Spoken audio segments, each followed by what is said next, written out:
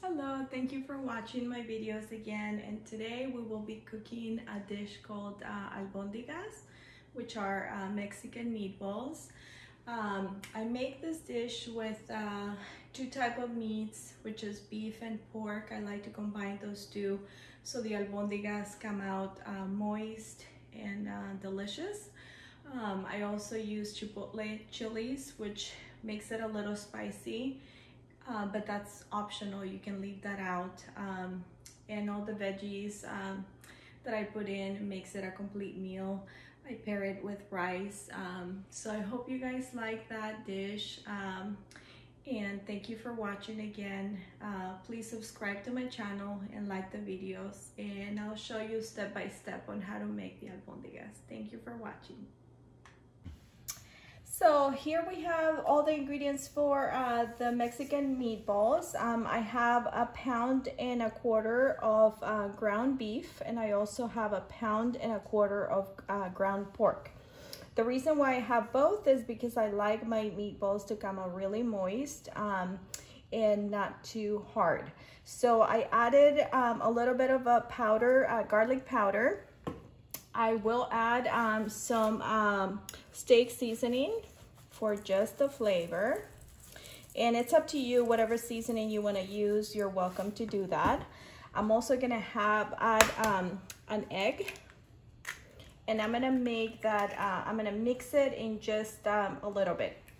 Um, the rest of the ingredients here, uh, we have four uh, vine tomatoes here, two garlics, we have a spoon, a whole spoon of um, chicken powder or Knorr, four garlic, uh, I'm sorry, four uh, bay leaves, some uh, carrots chopped, uh, onion chopped, and some uh, celery all chopped in uh, tiny pieces.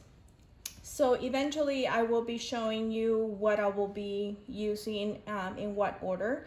So stay tuned. Thank you. All right, so here again, we are starting to cook our um, albondigas or our meatballs, our Mexican meatballs. So I have a little bit of canola oil in here um, and it's actually ready uh, for me to drop the onion in here.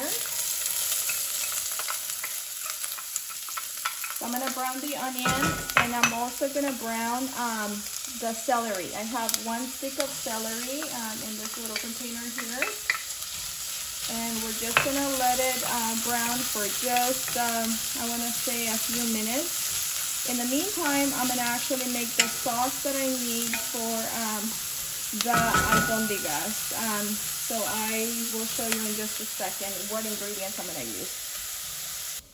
All right and here I'm about to make the sauce for the albondigas so I have the I'm gonna add the tomatoes in the blender all four I'm also gonna add the gar garlic, the garlic cloves.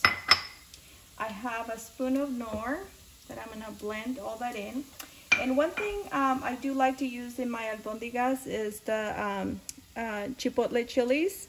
Um, it gives a really nice flavor to the sauce here. Um, so I'm gonna add two, uh, two of the chilies here, maybe three, because I like my albondigas to be a little spicy.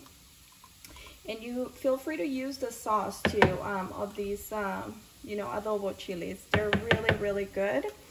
Um, so once I'm done doing that, this is optional by the way. Uh, with all these ingredients, you're gonna have a lot of flavor.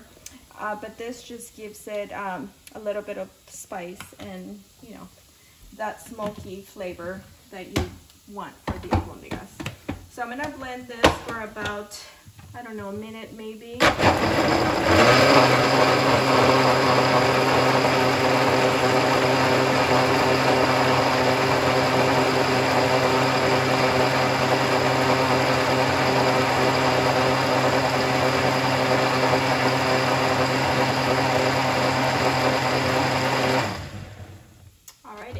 Make sure that it's all liquefied. I did have uh, 16 ounces of water in here just because you want your albondigas to be um, saucy or, you know, almost like in a, in a soup, kind of like soupy. So now I'm gonna add all these ingredients in here where I had the onion and the celery.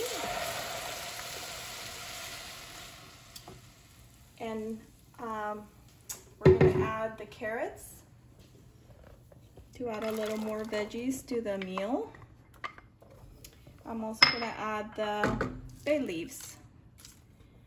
And after that, I'm just gonna add, um, start adding the meatballs. So I mixed all the, you know, the meat together, the beef and the pork, and whatever seasoning you wanna use. Another um, herb that you can use in here is mint. Um, if you have mint or if you have um, basil, you can use either or. I didn't have it this time, but um, this should actually be really uh, flavorful. So you're just gonna drop the meatballs in here. And um, people use also um, rice in the meat. Um, I'm not gonna do that just because I'm gonna serve the meatballs or the albondigas with um, over rice, which I already made earlier. So I have the albondigas here. I'm gonna cover this and I'm gonna let it cook for another 20 minutes and I'm gonna check on it again um, once that time it's, you know, gone by. See you. And our delicious albondigas are done. Look at that. It looks so good and it smells so good. We have some rice here that I cooked earlier. So that's how we're gonna serve them.